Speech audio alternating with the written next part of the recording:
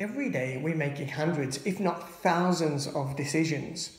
And of those decisions, when you come to the important decisions, you really have two options. The first is you can add water to the situation, or two, you can add fuel. And what do I mean by that? When you add water, you calm things down and you diffuse the situations. When you add fuel, fuel usually ignites things and fuel can add to the momentum of things that you have going on. So now, during this uncertainty that's happening around the world, what are you doing in your business? Are you adding some fuel to build on that momentum and achieve the goals um, that you need? Or are you sitting back, sipping on the water, just taking it easy?